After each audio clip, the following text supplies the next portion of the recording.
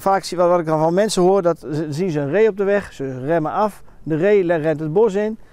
Ze geven weer gas, want ze denken dat de ree weg is. En dan komen de, de, de kalfjes die volgen, of de geit, of de bok, die raakt dan in, eh, in contact met die auto. En dan heb je een, een aanrijding. En eh, de gemiddelde aanrijding kost een beetje tussen 22 en 2500 euro. Dus het is echt eh, goed opletten de komende weken. Als je een ree op de weg ziet, ga die plek stapvoet voorbij, want dan voorkom je, voorkom je dit. Deze ree hebben we, eh, is eergisteren nacht aangereden, gisteren gemeld. En die hebben we er ook gisteren neergelegd. Dus eh, goed uitkijken op de weg.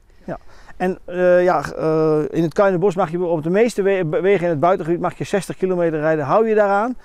Want als je 60 rijdt, dan heb je zelf meer kans om te reageren. Dan heeft de ree net iets meer kans om weg te springen. En dat voorkomt heel veel, heel veel narigheid. Kun je als leek nog iets meekrijgen van die hele bronstijd als je hier rondloopt in het bos? Ja, eh, bokken die kunnen een blaffend geluid maken als je in hun territorium komt. Dus als je in deze wandelroute zou wandelen, ja, dan zou je in het territorium van een bok. En dan hoor je een blaffend geluid. Dus dan denk je, hé, er is een hond in het bos. Maar dat is dan, dat is dan een reebok. Kijk, je ziet daar ook al aan die, eh, aan die struik allerlei verwondingen. En wat doet hij dan precies? Eh, dan veegt hij met zijn gewei veegt hij langs zo'n takje. Dat, dat buigt een beetje mee. En eh, daardoor komen er eh, zijn geuren van zijn hormoonklieren, eh, die komen daarop.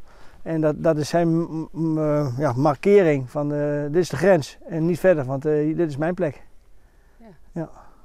En dat, eh, dat, eh, dat blaffen, dat hoort daar ook bij. Doet hij dat dan ook op dit moment? Ja, als je, als je nu reeën in de bronstijd in het, in het territorium komt en zo hoor je, je zou takjes horen kraken, dan, dan kunnen ze een blaffend geluid maken van let op, want ik sta klaar om voor de aanval. En dat is niet op mensen, maar dat is op hun eigen soortgenoten. Ik meende net ook geblaf te horen, maar Ja, ik, daar twijfel ik, ik twijfel er sterk aan. Ik weet dat hier recht achter een, boerder, een boerderij staat. Dus het zou ook de boerderij, boerderijhond kunnen zijn. Het, het was niet helemaal karakteristiek genoeg.